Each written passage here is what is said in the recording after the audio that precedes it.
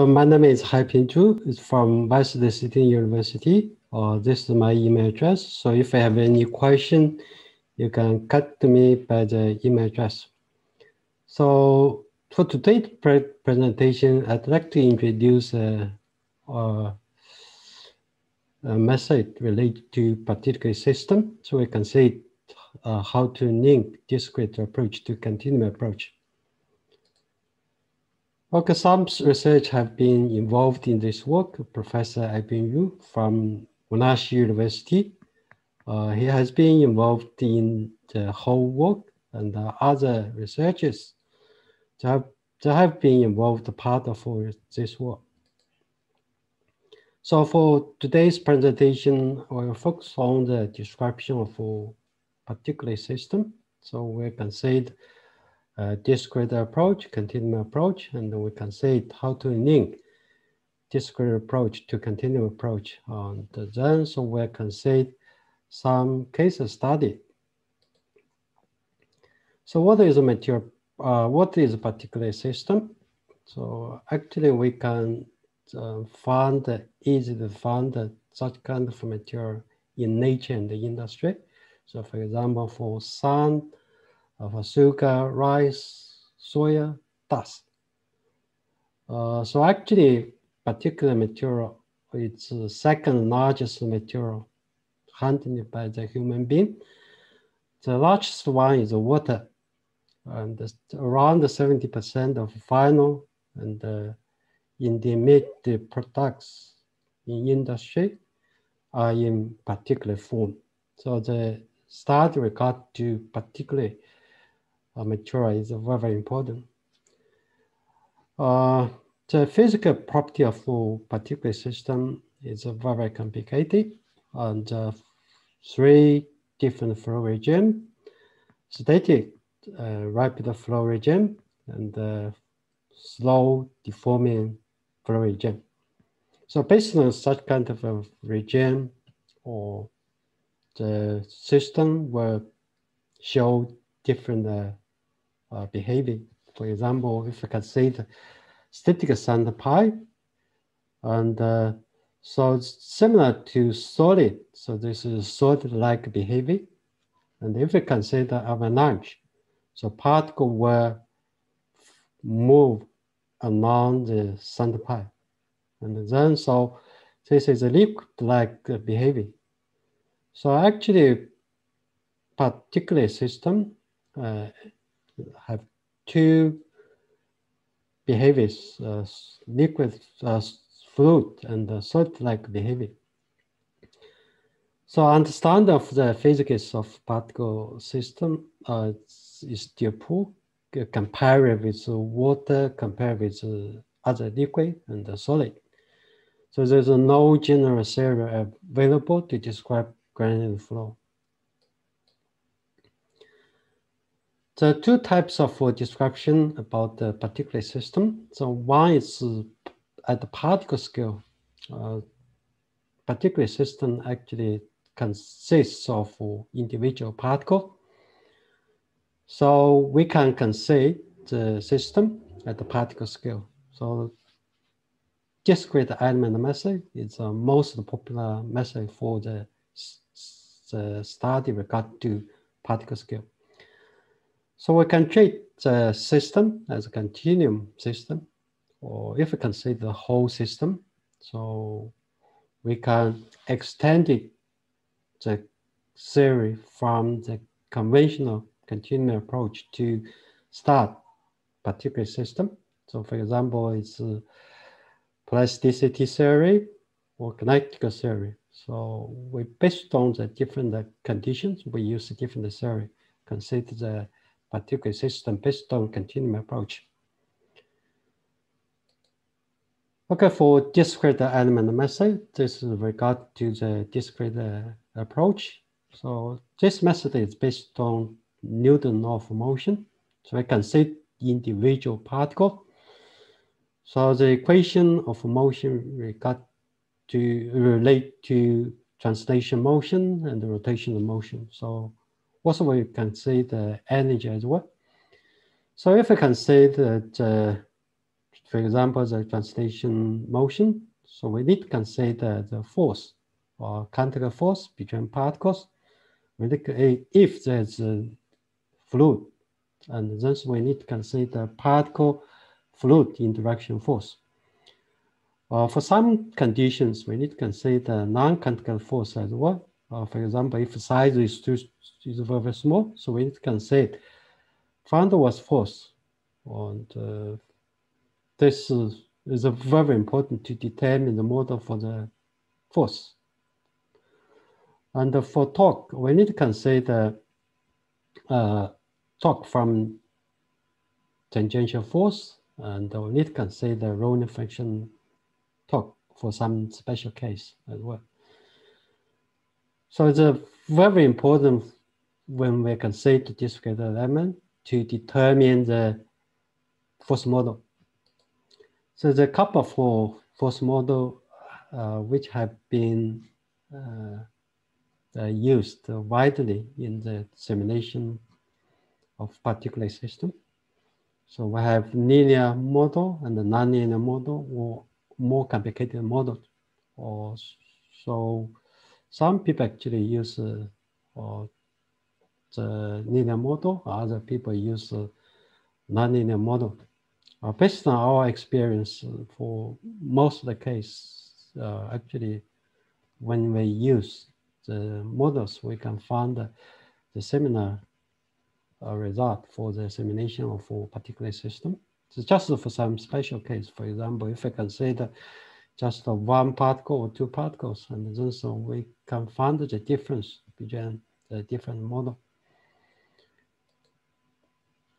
Okay, for some case, we need to consider non-contact force. Uh, for example, if the size is small, we need to consider van der Waals force. Okay, if uh, the particle is white, we need to consider liquid the bridge force. Uh, if there's the fluid in the system, so we need to consider particle fluid interaction force as well or this is some models uh, have been uh, used. Okay, for continuum approach or the common equation, including the equation for mass, for linear moment, and angular momentum, uh, also including energy. Uh, for example, for this one, uh, if you can say the linear momentum, so we need to consider stress, we need to consider this term from the particle fluid to the interaction force. So we need to consider this term. So this term is related to non-contact force, including uh, gravity as well.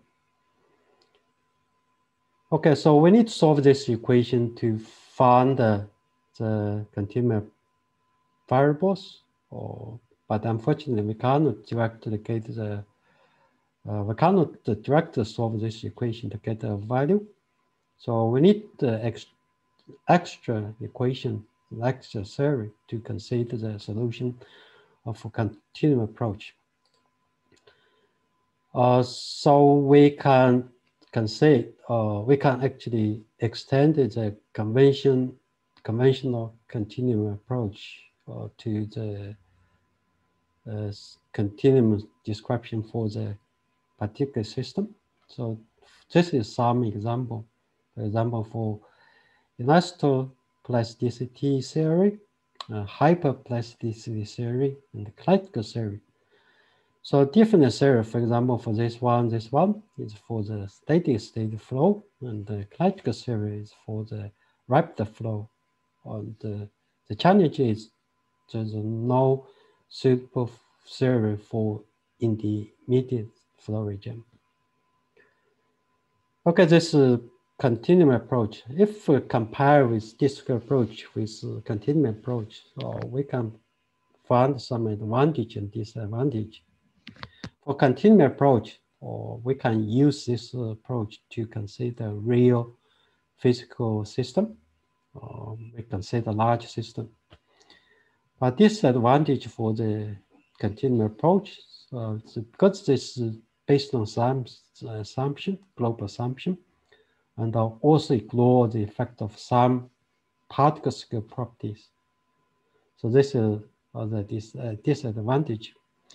But the disadvantage for continuum approach actually are the advantage for the discrete approach. So for discrete approach, there's no global assumption and also including effect of microstructure. But the disadvantage for the description is uh, because uh, due, because the limitation of the ability for computer. So we cannot actually consider many particles as for the real system. So for real system, there are many particles. So normally, or because the limitation of computer, so we can't consider the real system. But uh, as the development of ability of a computer, and then so it's possible to consider the real system by using discrete, uh, discrete uh, description. And in the future, I think we can overcome this issue to construct the use discrete uh, element method to consider the real system. So at the current stage, or discrete uh, uh, discrete approach uh, is more suitable for fundamental research, and the continuum approach is more suitable for the applied research. So there's a challenge to develop an approach to overcome all of this problem. Uh, so, so here I'd like to introduce a method to provide potential to develop such kind of a theory. It's uh, the average method. So the link discrete to continue. Okay, so we can say that the common equation for the discrete approach. So this is based on the Newton of motion. And then so we conduct the average method, or and then so we derive the equation for the just the continuum approach. So this is a continuum approach. And then so we can link the discrete uh, common equation to continuum common equation. At the same time, we can find the equation to show the relationship between discrete and the two and the continuum uh, variables. So, for example, these uh, equations, on the left-hand side, you can say they show the continuum variables. Uh, for example, T is the stress. And uh, the right-hand side relate to discrete variables. Or for example, for this one, the V prime, so relate to the fluctuation of velocity. So F is the force, the kinetic force between particles. Okay, so we can use these uh, equations to determine the continuum variables. And uh, there's some advantage for this uh, approach. Uh, because this one satisfies, but this equation actually satisfies the common equation for continuum approach. Uh, the, the, the common equation for continuum approach. And then so property obtained uh, based on this method actually satisfies the conventional balance equations. So this is the first advantage for this method. The second one, uh, because actually for discrete approach, uh, we can consider all flow regime, consider coarse fine particles, consider particle fluid. So for this method also we, we can, this method also is suitable for all flow regimes. So also without the assumption and including part effect of particle properties. Okay, uh, in addition, we can consider the, the some properties for the continuum approach. For example, for stress. And the stress actually contributed by transport particle and uh, trans uh, and uh, contributed by uh, normal force, tangential force. So this, so we can use this uh, equation to determine the trans transmission from transport particle from the contact force. Also, we can use the uh, method to enhance analysis. So at particle scale, we can consider some property related to the discrete, discrete approach. And also we can use this method to consider the continuum approach, uh, the, the variable for continuum approach. So also we can use this method to test the assumption, uh, test the theorem or constitutive relationship in continuum description. Okay, so now we can see the few case studies. Uh, we choose a few. Uh, the first one is particle flow in Hopper. The second one is particle gas flow in blast furnace. And the, the first two cases actually is only related to spherical particle. And the third one we consider non-spherical particle. Okay, for particle flow in uh, Hopper. So Hopper actually is the most common device for storage and discharge, or it's a very common device in industry, especially for process industry. Okay, so with different conditions, the particle in the hopper have different uh, behavior, like the mass flow and the funnel flow. So it started for the particle flow in hopper is uh, very important, or because actually there's a, a there's a many issue regard to design of hopper and uh, many issues happen in the process industry regard to hopper. So understand the behavior of particle flow in hopper is uh, very important. And also the behavior for particle in hopper actually is complicated. It, uh, even the geometry is very, very simple. So we can say this is very, very simple. By the particle in the hopper have four flow zones for stagnant zone, second zone, plug flow zone, converging flow zone, and the transition between zones. Okay, there's three different regimes. I call the static region. So it's stagnant zone, in the plug flow zone. And the rapid flow regime, so near the orifice, the transition regime. So it's uh, very hard actually to describe the behavior of particle for all flow regimes. So this is a challenge work actually, even the geometry very simple. So what we have done, we have used discrete, uh, discrete the element method to do the simulation about the uh, particle flow in Hopper. So the particle is charged at the top and discharged the, from the orifice.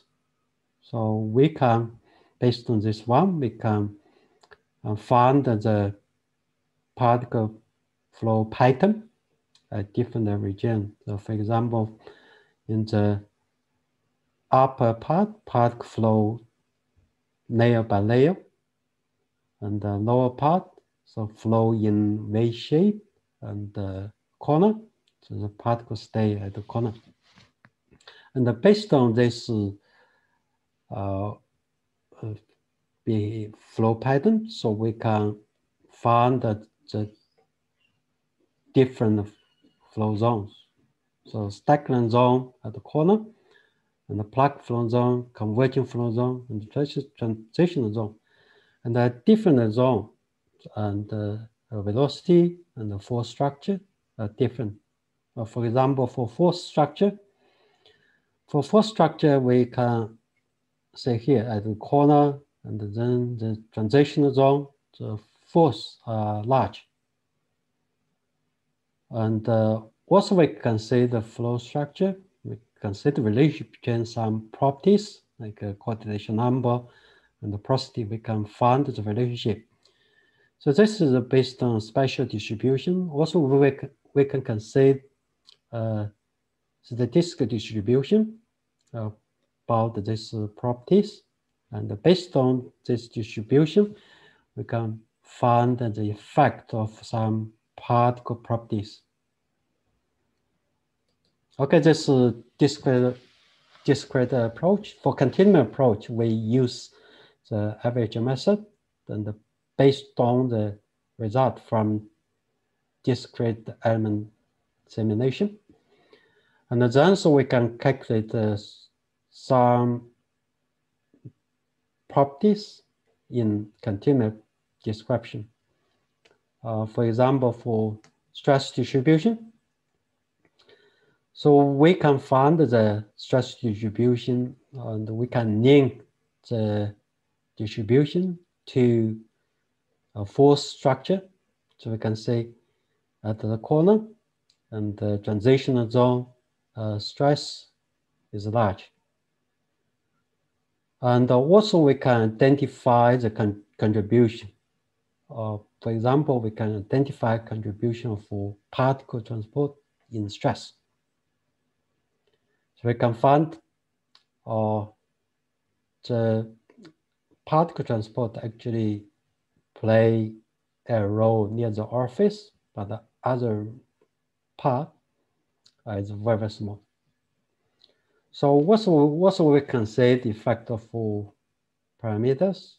This is very important actually in the conventional continuum description. So some if properties actually has been ignored. So we can identify the factor for these properties on the variable for continuum description. So we found actually the fact the variables for continuum description. So it's very important in the future development for theory. We need to include such kind of effect. Also, we can uh, clarify some issue. Uh, this is example regard to the couple stress.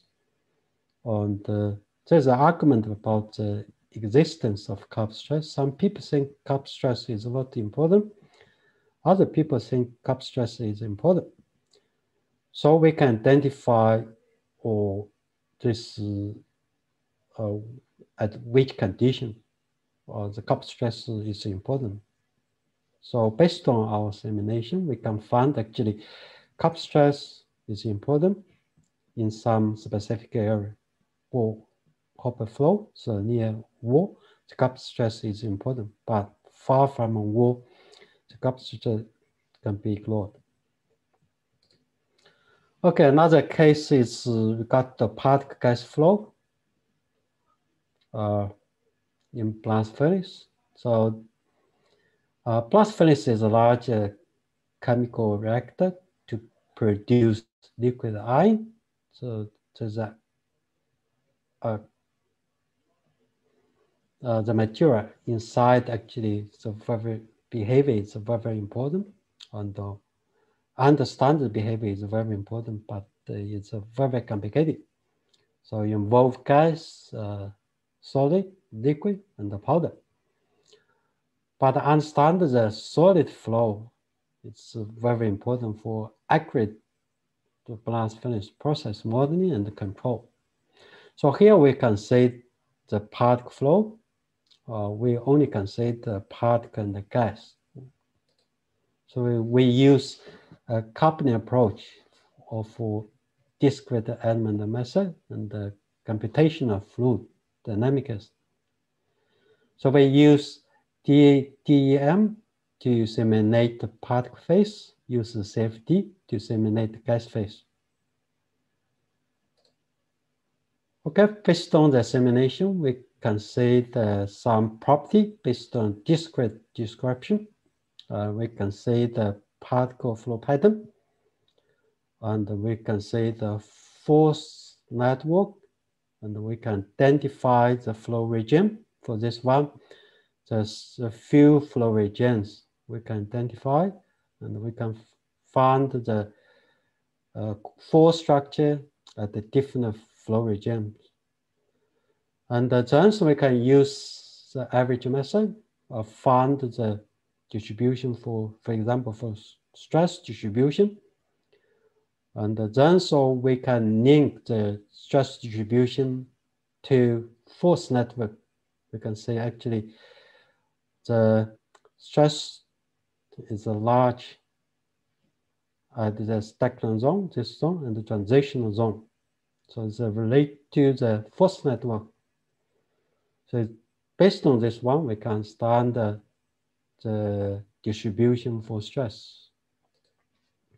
And also we can see the effect of gas, or so we can see actually gas effect the stress distribution.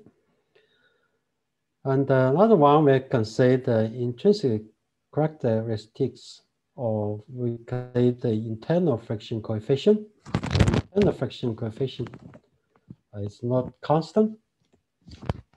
We can establish a relationship between the friction coefficient and the inertial number. So this actual relationship is a very important relationship, has been widely used in the simulation. So we can test the uh, existence of such kind of relationship. So we can say the relationship between uh, friction coefficient and the inertial number, we can find actually for whole region, we cannot find the very clear relationship. But if we divide the into some small regions, and then so we can find the clear relationship between the friction coefficient and the inertial number. Okay, last one is about the uh, non-spherical particle. We can see the ellipsoidal uh, particle flow in the shear cell. So shear test are typical equipment and which has been used uh, for magic flow properties. So we can see the case, uh, special case, we can see just the segment, we can see the non-spherical particle, and uh, we can consider or some issue or for example for force stress there's a force stress. That's based on discrete approach. And also we can say the properties for continuum approach. And uh, so here we focus on a very important issue of flow regime. So flow regime, uh, so actually in general, there's three different flow regime for particulate system. So quasi-static regime, inertial flow regime, and the intermediate regimes. Okay, so it's very important to identify the transition between regimes. So we can say the independence of stress on volume fraction. We can say the relationship and then we can identify a value for the volume fraction got to transition between the flow regimes. For example, for quasi-static regime to intermediate flow regime, and or from the inertial flow regime to intermediate region. And then so we can draw flow regime map. So this is for spherical particle, this is for non-spherical particle. So I can say in the parametric space, we can find this region is for inertial region. This is quasi-static region. This is intermediate region. Okay, so we have found the volume fraction play a key role for region transition. It's not only for spherical particle, for non-spherical particle as well. So also from here, we can find the critical value for volume fraction It's different for different uh, system. So the region transition point is a system dependent.